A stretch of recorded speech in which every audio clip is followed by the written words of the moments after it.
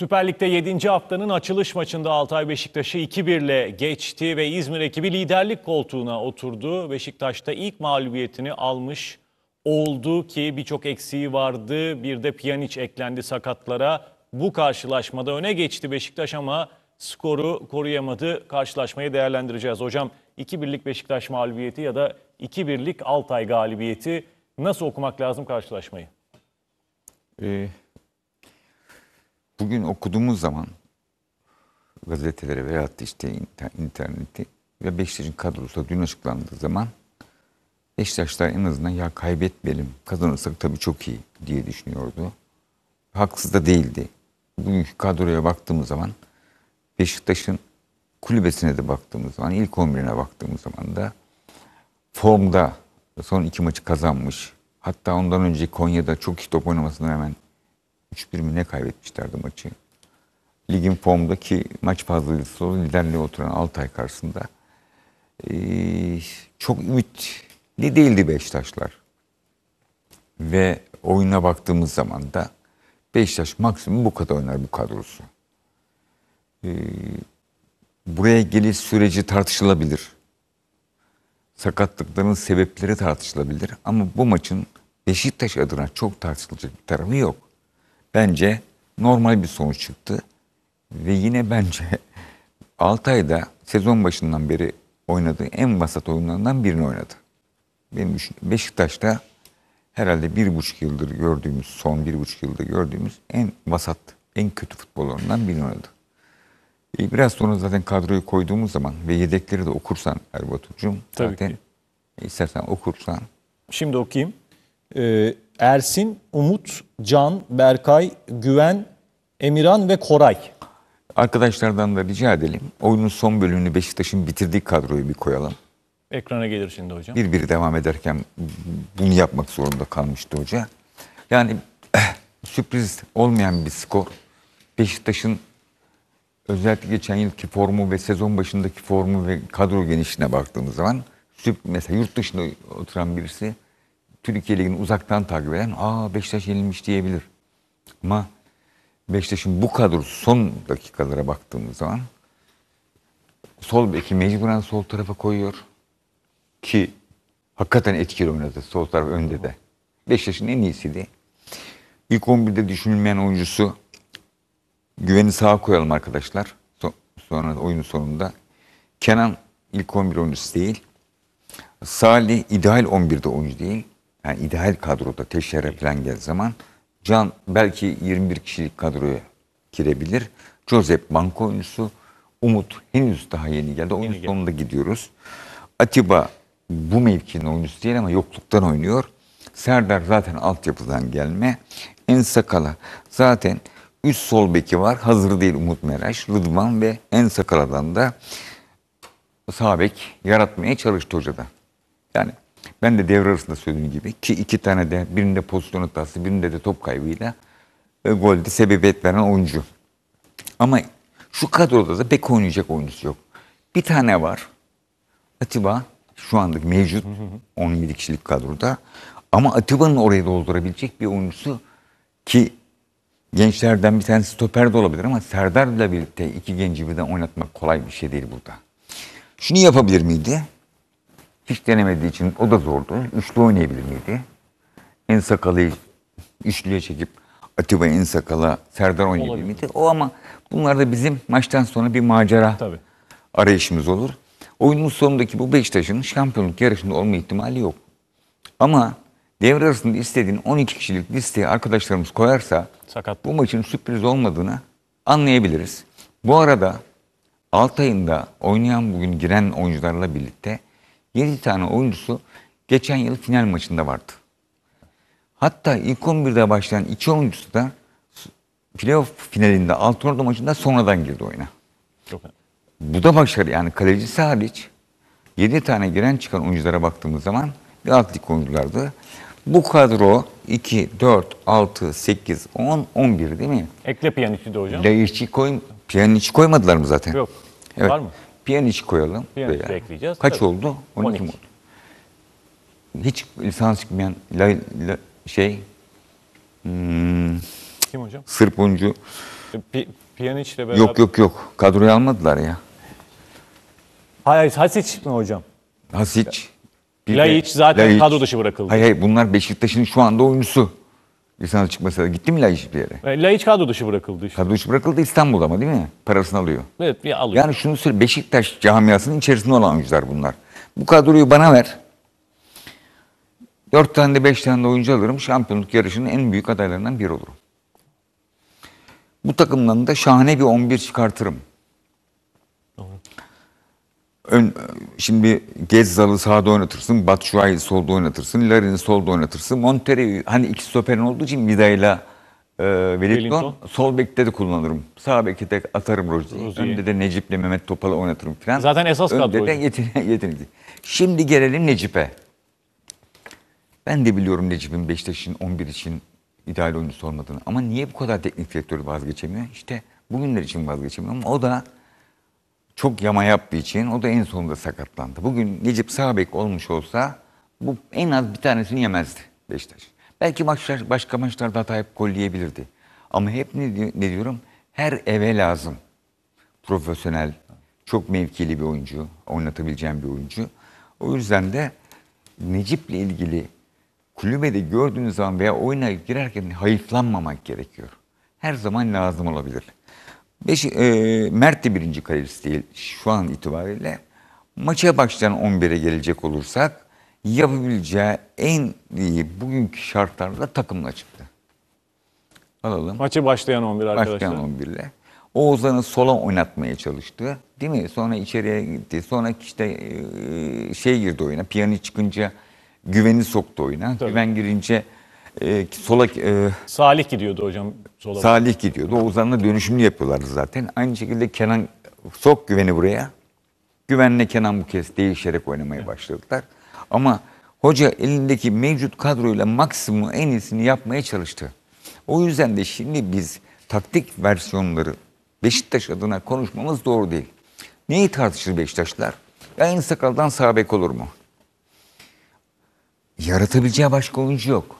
Hocam burada lafınızı balla keseyim. Ben merak ediyorum. Hep burada en sakalının hataları, en sakalını yaptıkları, çevre kontrolü eksikliği programlarda konuşuyoruz, konuşuluyor. Ben mesela şey merak ediyorum. Altyapıdan en sakala seviyesinde oynayacak bir futbolcu çıkamıyor mu? Hatta bek olarak. Bek- değil mi bek- bek Hani olarak bir- bek bulunabilir. Ha bir sağ bek yok mu mesela Beşiktaş altyapısında orada oynayabilir? Yani en sakalıyı sağ beke mi çekmek gerekiyor? Ha bu, Şimdi- ben, mesela bu bence sorgulanmalı. Erbatur'cum sen e, mutlaka Beşiktaş muhabir arkadaşlarımız hemen bize derhal söyleyebilirler. Koray, Emirhan, Berkay, Dan, Cengiz'den, ya Cengiz Umut Merakçı, bu üç oyuncudan sağ bek oynayan var mı işlerinde? Tuna'ya soralım lütfen arkadaşlar. Arkadaşlar bu ara biz yaparken ama hoca için de kolaydı. Bak ben tekrar söylüyorum. Bugün Beşiktaş'ın teknik direktörü ben İzmir'de olsaydım en Sakala'yı oynatırdım. Onu oynatırdım. Mecbur. Ah oynatıldığında iki tane de yardım derler değil mi şimdi? Olabilir ama mecburiyetler var. Beşiktaş'ta problem Hocam biri merkez orta saha, biri 10 numara, biri de forvet arkadaşlardan. ha, Yani altyapıdan ancak böyle yetenekli solaktır bunların iki tanesi. Daha böyle koşmayan solaklardandır. Böyle ce- cezbeder çünkü. Ee, acaba şey sağ bek oynar mı? Stoper. genç oyuncu Serdar. Ama onun yerine oynayacak stoper de yok. Yani o, o kadar çaresiz ki. Önemli olan çaresizliğe giden yolda yapılan hatalar. Daha da kötüsü çok önemli salı günü maç var. Ve biz dua edelim bazı oyuncular risk, al- risk et- etmemiştir hoca. Sanki Pjanic öyle geldi gibi bana ama bilmiyorum öyle geldi gibi sadece. Valla Pjanic inşallah ama İnşallah. zor yani. Oyundan adeleden çıktı. Adeleden çıktı. Şimdi o bizim kadroya bakalım biz artık Altay'ı bir tebrik edelim. Tabii kesinlikle. çok köklü bir kulüp. Yıllardır orada. Tabii Büyük Mustafa'nın bir hikayesi vardır Altay'da. Çeşmeli Büyük Mustafa'nın. Ve Altay yıllar sonra lige çıkarken hocayla çıktı. Şimdi lider olurken yine Mustafa Hoca ile çıktı. Şimdi lider oldu. Tabii ki maç fazlalı. Trabzon 1-0 kazanırsa 17 puanla lider olacak. Ee, şimdi Beşiktaş'ın sezon başı planlamasına baktığımız zaman neler yapılabilirdi? Bir de Beşiktaş'ın olmayan 12 kişi üzerinden gidecek olursak böylesine yorum yapmak salı için daha geçerli olacak. Net oynamayacak oyuncuların bilgilerine sahibiz bazılarını. Al o 12 kişiyi. Çünkü Beşiktaşların maçı başladı. Üzüldü. Üzülecekler. Altay sevinecek. Tabii ki. Beşiktaş'ın rakipleri çok sevinecek. Namalip iki takım kaldı. Trabzon'la Konya herkes yenildi. Bu 12 oyuncudan e, bence net oynamayacak oyunculardan söyleyebilirim.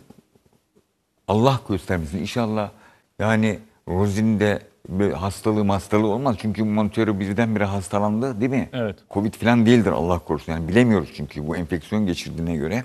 Şimdi burada bank oynayacak bir oyuncu geldi. Evet. Şimdi burada bak gripse Montero da gelir. Vida ile ilgili henüz daha açıklama ben ilk günlerde duydum ama şu ana kadar belli bir açıklama yok. Haber bekleniyor. Gezzal'ın ben oynama ihtimalini yüksek görüyorum. Oyunun çıkış anını gördüğüm için. Fakat ben oyundan Batshuayi çıkarken 94.5'larda acıyla çıktı. Yorgunluk ifadesinin içinde bir acı vardı. Dizindeymiş hocam problem. Ama e, çok kötü değil diye son aldığım bilgi. Öyle mi? Evet dizinde bir problem var Ya, Batshuayi. o zaman dinlendirdi mi diyelim. Yani Ben, ben o yüzündeki acıyı iyi görmedim ama tabii ki bu yüzünde çıkacak. İnşallah da Batshuayi oynar çünkü çok İnşallah. ihtiyaç var. Şimdi buradan Teşe, Teşere iyi olsa da toparlamış olsa da oynamamalı. Hoca iki kez yaptı aynı hatayı. Bir oyuncu da iki kez yaptı. Gelir gelmez oynattı. Sonra bir daha. Sakatlandı. iki hafta sonra dönüşünde konuştu. Tekrar oynattı. Hoca, e, Teşere'ye güvenip. Veritto'nun ben oynama ihtimalini görüyorum. E, Larry'nin oynama ihtimalini açıkçası görüyorum. Ben çünkü şurası tutmuştum maçın başında. Evet arka. Ee, sadece gözle biz doktor değiliz. Sadece gözlemlerimizle ilgili.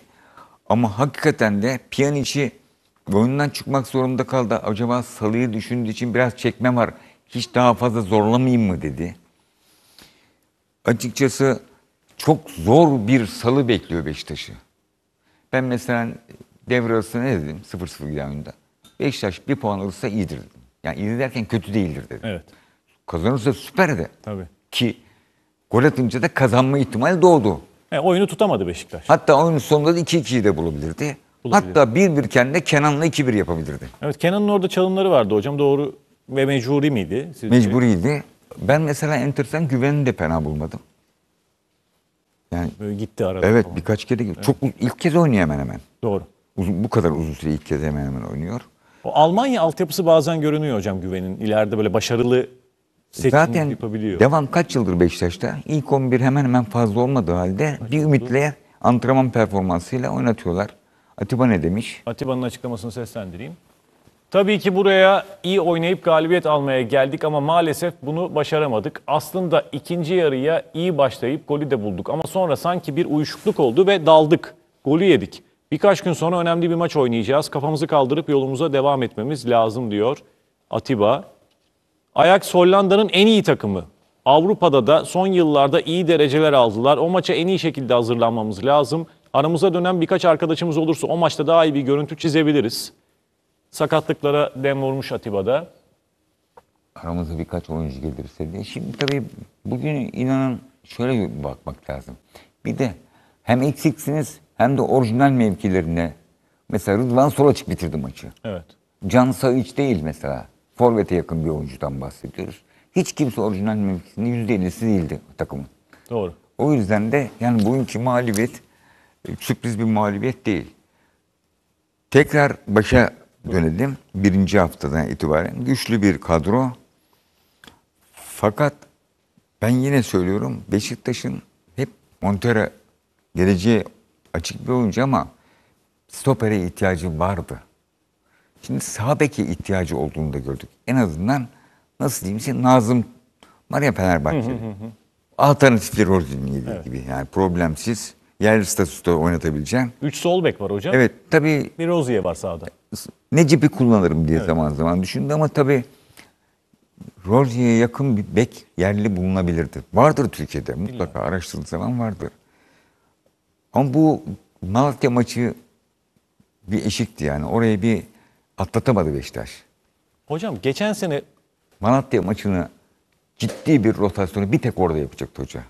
Yapamayınca şimdi sakatlıklar zemin tartışılıyor. A zemin deniyor. B işte antrenman. C şu. Bunların hepsini bir araya sokacağız. Arkadaşlara yine sorayım. Beşiktaş antrenmanlara ne zaman başladı?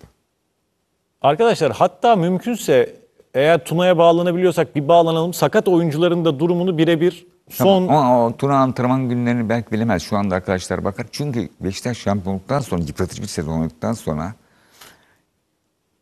Avrupa Şampiyonası'nda oynayan çok oyuncusu yoktu. Çok ara verdiler. antrenmanlara ne zaman başladığına bakalım. Hayır, Yani Tuna'yı şöyle dedim. Diğer takımlar daha önce başladılar. 5 Temmuz hocam başlangıç. Yani ligin başlamasına 40 40 gün bile yok. Evet. 40 gün hemen hemen. 13 Ağustos açılış maçını. Beşiktaş yaptı. Doğru. Beşi bir kere 6 haftalık bir hazırlık dönemine ihtiyacınız vardır. 6 hafta içerisinde de tabii bol hazırlık maçı da gerekiyor. Çünkü siz ön eleme vesaire yoktu Beşiktaş'ın. Bir de şu oldu. Transferler çok gecikti. Hatta Sergen Yalçın'la anlaşmayı hatırlayalım. Geç oldu. Bir 35-40 gün sonra falan oldu. Geç oldu hocam. Geç oldu. Geç olduğu gün Genzdağlılar Rolce Galatasaray mı gidiyor kalıyor mu? Hiç- henüz daha o 7-8 oyuncu piyasada yoktu. İşte bu oyuncular Teşehir'e geç geldi, Batshuayi geç geldi. Hatta iş transfer kabul edebileceğimiz Gezdağlılar Rolce geç geldi. Tabii. Yani bu oyuncuların da bu tatil döneminden sonra yük de binince sakatlıklar kaçınılmaz oldu. Darbeye bağlı sakatlık maksimum 3 tanedir bu iş- işlerinde. Öyle öyle hocam haklısınız. Bu, bu arada şeyi de söyleyeyim. Geçen sene hatırlayın hocam. Beşiktaş yine böyle bir sakatlık sorunu çekiyordu. Bir milli takım arası bekledi. O milli takım arasından sonra bir düzeldi Beşiktaş. Ve iyi bir seri yakaladı. Şimdi gene milli takım arasına atmaya çalışacak aslında kendini. Bir hafta daha oynayıp. hafta, evet. O sakatlıklar belki de iyileşecek o sürede. Ma- e, tabii ki çok ilaç gibi gelecektir. Ee, tabii oyuncuların sakatlıkları öyle. Mesela Teşehir'e ben milli maçtan sonra hazır olacağını düşünüyorum.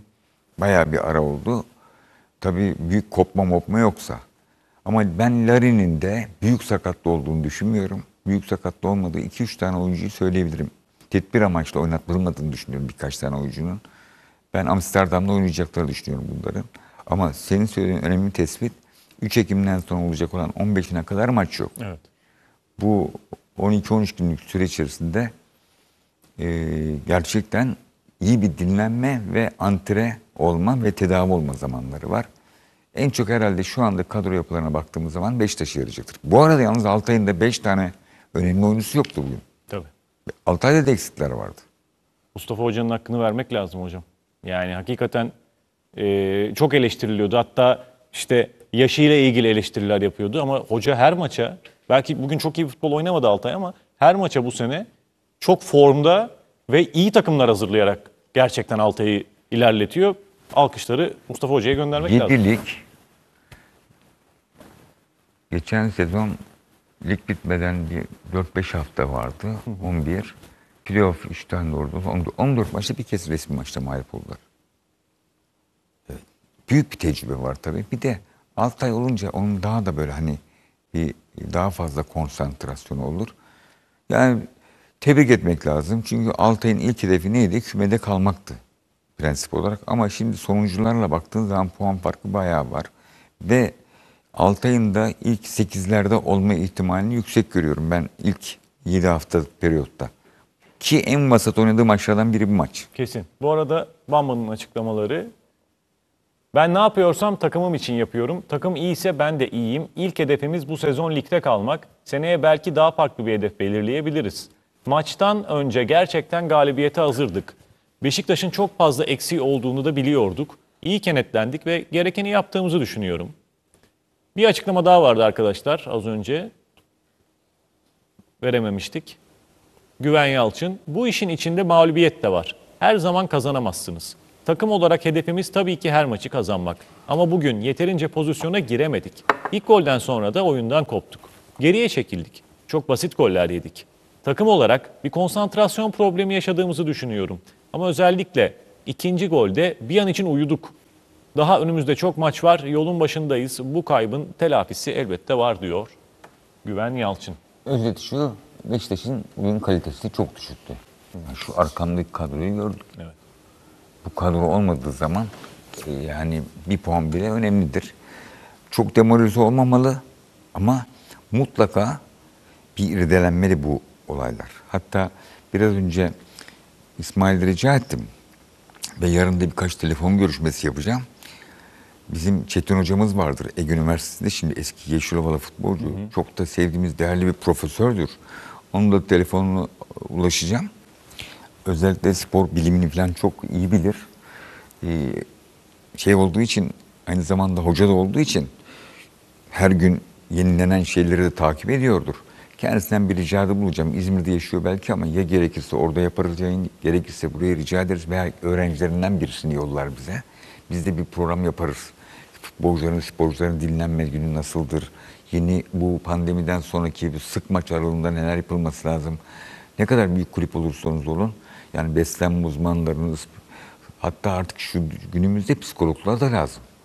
Kesinlikle hocam. Yani oyuncuların şimdi bu maç trafiğinde işte bir son maçta Adana Demirspor maçı bitti.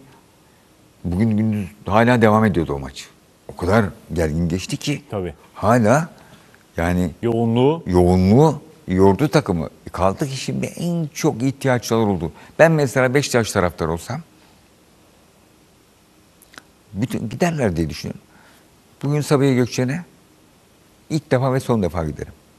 Son defa derken bugün onlara ihtiyacı var çocukların. Yani kulübün ve bilmiyorum ben duygusal mı bakıyorum ama bu çocukların ihtiyacı var yani. Yani demoralize olmamaları lazım. Hoş çoğu buradadır, İstanbul'dadır bu oyuncuların da. Tabii. Veyahut da yarınki antrenmana, diye bir diyen antrenmana oyuncuların yanında olması ki olurlar da zaten. hocam Çünkü çok önemli bir yurt dışı maçına gidiyor yani. Allah Çok, korusun çok, çok, çok tehlikeli bir skor olmasın orada yani. evet çok golcü bir takım Ajax e, ayrıca. Hocam- Altay değil. Altay değil. Hızlı, tempolu, yüksek tempolu oynuyorlar ama tabii piyanistlere falan baktığımız zaman çok hazır değillerdi aslında. Çok klas bir oyuncu. Çok Barcelona'da oynamış müthiş bir kariyer. Ama maç ritmini henüz bulmamıştı. Temposu belli bir seviyedeydi. Bugün Josep de Souza yani artık gitmeye çalışıyor.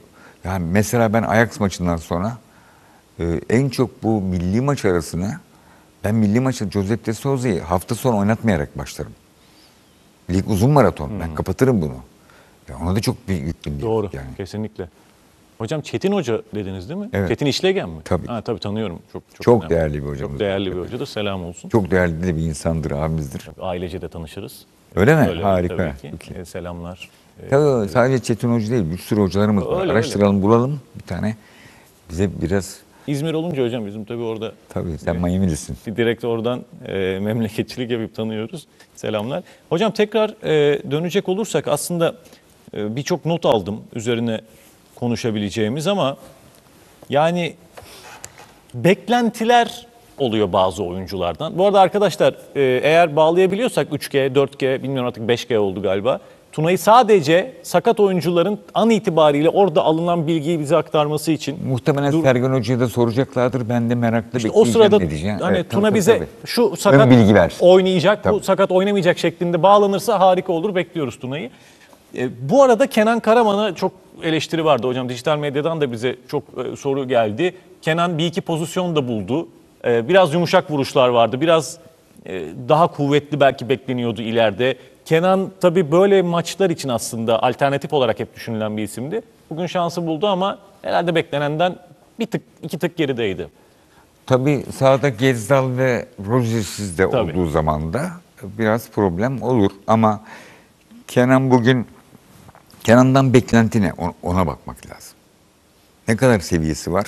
Ona da bakmak lazım. Yani biz Kenan'ı bu zayıf Beşiktaş kadrosunu bugün için alıp alıp götürecek olarak değerlendirmeyelim. Ee, biraz sonra görüntü analizde biraz önce sorunun da cevabı aslında izleyerek daha net söyleyebileceğim. Acaba en daha doğrusu ne olabilirdi? Hani gol vuruşu 1-1 yapsa golü belki 1-1 değil mi maç o anda 2-1 Evet. yapıyordu. Ee, bugün şartlarda Kenan'dan daha farklı performans olur muydu? Kenan'ın zaten belli bir kapasitesi var. Bence çok daha fazla performans olmazdı. Bugün Beşiktaş'ın en iyi oyuncusu tartışması Rıdvan'dı. Kesin.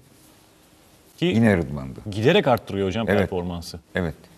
Yani nazardan saklasın Allah. Yani genç oyuncu E, fakat ben gerçekten e, bu kadar sakatlıkların mutlaka bir açıklaması olması lazım. Yani bu kadar olmaz. Yani 5. hafta, 6. hafta daha ya. 13 Ağustos biz kaç Eylül'deyiz bugün? 25-24 Eylül. 24 Eylül. bugün 21 gün. Cuma. Şey 31 günde pardon 13 matematikte gitti bizim. 24 işte 41 günde bu kadar olmaz yani. Ne kadar maç trafiği olursa olsun. Şu anda aslında her koldan sorgulanıyor hocam sakatlıkların sebebi nedir diye. Ben birkaç tane e, Sergen Yalçın'ın oyuncuları erken oynattığı bir iki oyuncu ile ilgili biraz duygularına yenildiğini düşünüyorum. Ama onun dışında ki sadece fikstür değil, zemin de değil bu. Yani o dedim ya bu sadece Beşiktaş'a da bağlı değil. Bir iki tane takım dışında çok sakatlıklar başladı. Ee, ben pandemiyle ilgili. Arkadaşlar baksınlar geçen sezon sezonu kapatan her takımda en az üçer dörder oyuncu vardı. Yani antrenman metotları falan değişti. Tuna hazırmış hocam. Ee, hemen Tuna'ya gidelim İzmir'e. Ee, Tuna kolay gelsin. Aslında detaylı olarak karşılaşmayı ve tabii bu sakatlıkları konuşuyoruz.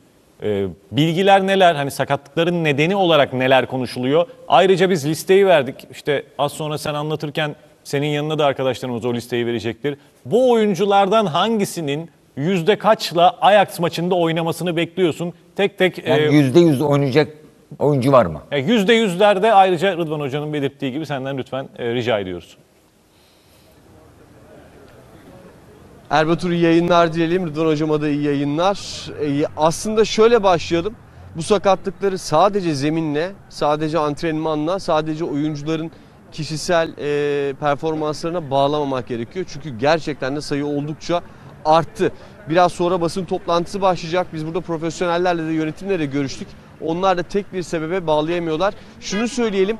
Yoğun maç temposunda teknik direktör Sergen Yalçın yoğun bir yükleme ya da antrenman programı uygulamıyor. Genelde 5'e 2 çalışma, kısa bir teratma antrenmanı ve ardından kısa bir taktik çalışmayla antrenmanlar noktalanıyor. Son 2 haftadır yoğun maç temposunda yapılan çalışmaları bu şekilde özetleyelim. Gelelim sakatlıklara. Bugün e, tabii Pjanic'in ve Oğuzhan'ın da sakatlanarak oyunu terk ettiğini belirtelim. Öncelikle dönmesi muhtemel isimlerden bahsedelim. E, Michi Batshuayi dönme ihtimali %80'in üzerinde. Büyük bir problemi e, yok. Dizinde bir darbeye bağlı sakatlığı var. Ama büyük bir ihtimalle Ajax karşısında takımdaki yerini alabilecek. Onun dışında Necip Uysal. O da %80'in üzerinde. Oynama ihtimali oldukça yüksek. Onu belirtelim. Alex Teixeira takımla antrenmanlara başlayacak ancak antrenman eksikliği var. 11'de olma ihtimalinin oldukça düşük olduğunu söyleyelim. Büyük bir ihtimalle o da Hollanda'ya takımla birlikte kafileyle devam edecek. Larin durumu %50 hatta biraz daha altında diyebiliriz. Bekleyip görmekte e, fayda var. Wellington oynama ihtimali e, oldukça zayıf onu belirtelim. E, Montero'nun da oynama ihtimalinin zayıf olduğunu e, gün itibariyle öğrendik. Ama onun içinde gün ve gün beklemek e, daha faydalı olacaktır. Gezal tabii merak edilen isimlerin başında geliyor.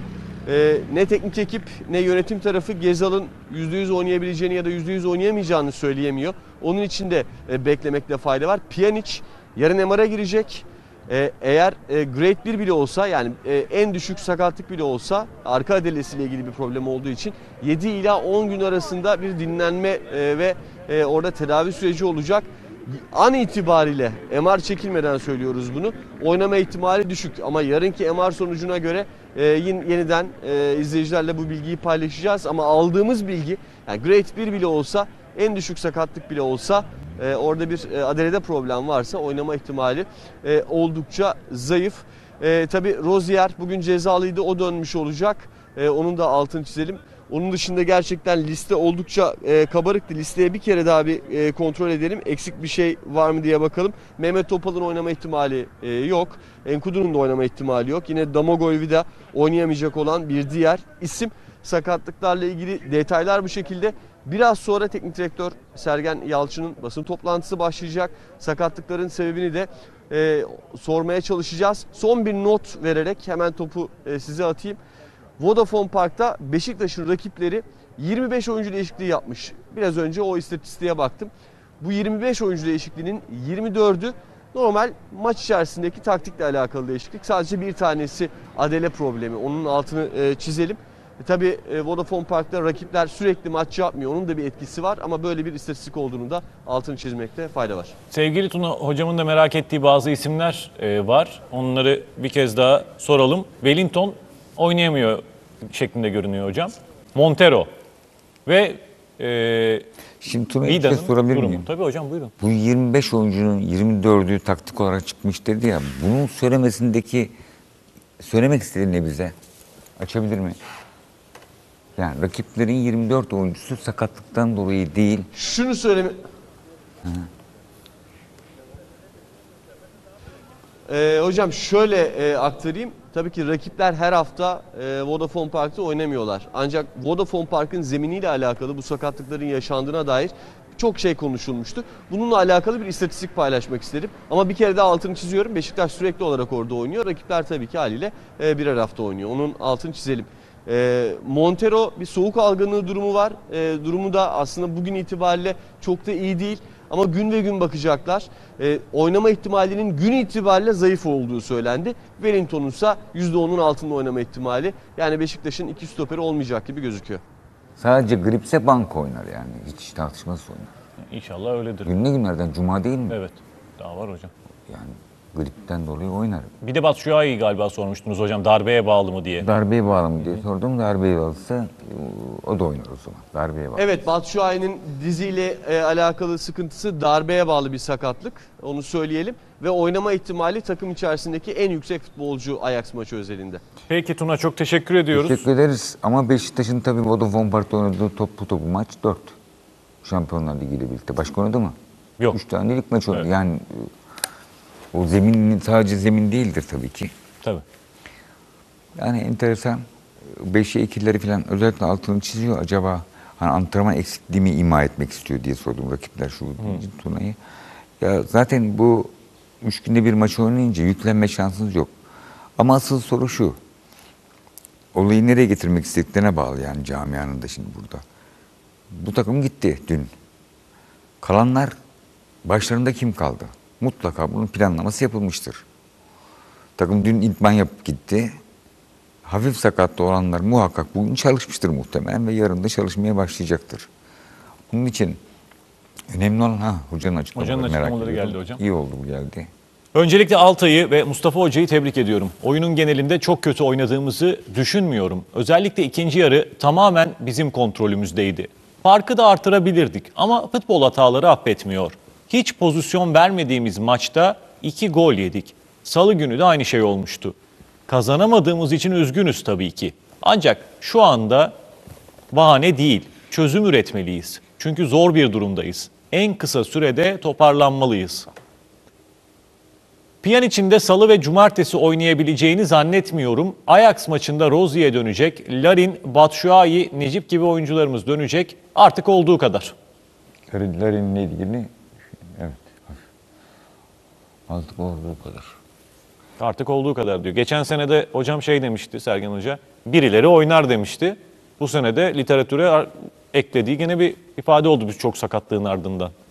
Çünkü bir soru sorulmuştu geçen sene. Hocam çok sakatınız var kim oynayacak? Birileri oynar demişti Sergen Hoca. Çok o yine kendine has o kendine güvenli ifadesiyle.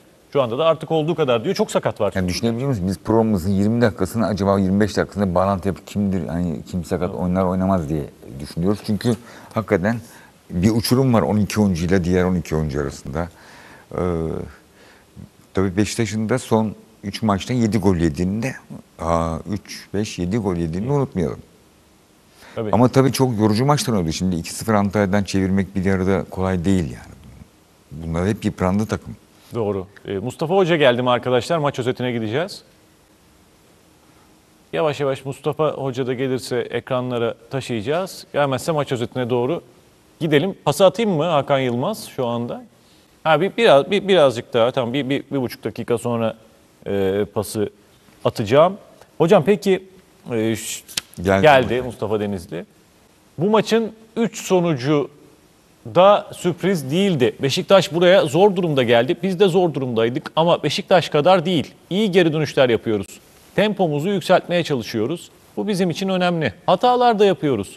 Tıpkı bugün yediğimiz golde olduğu gibi. Ama ne olursa olsun Beşiktaş gibi bir takıma karşı maçı kazanmak çok önemliydi. Bu galibiyet herkesin güvenini artıracak. İyi bir takımız. Eksiklerimiz de var ama sahaya 11 kişi çıktıktan sonra bunu bahane olarak göremeyiz. İyi puana sahibiz. Bunu devam ettirmeliyiz. İçeride dışarıda aynı oyunu oynamaya çalışıyoruz. Bugün iki takım da galibiyeti alabilirdi. Beşiktaş'ın da bulduğu şanslar vardı. Yine iki tarafta hata yaptı. Beşiktaş'ı böyle yakalamak belki de bizim için bir şanstı diyor Mustafa Hoca. Bir bölüm daha varmış. Sergen benim için hem futbolculuğuyla hem insanlığıyla hem de teknik adamlığıyla özel bir insan. Onunla biraz dertleştik. Şu an çok zor bir durumda. Bu haftada ülkemizi önemli bir maçta temsil edecekler. Şartlar ne olursa olsun en iyi şekilde temsil edecektir. İnşallah. İnşallah. Gidelim. Var mı hocam Mustafa Hoca'nın pozitif, açıklamaları? iyi bir maç analizi. İki takımı da yani üç ihtimalli maçta doğru. Maçta üç ihtimalli oynandı. O da doğru. Bizde eksik ama Beşiktaş kadar değil. O da doğru. Sergen Hoca'ya da moral vermiş. O, o da güzel. Gidelim.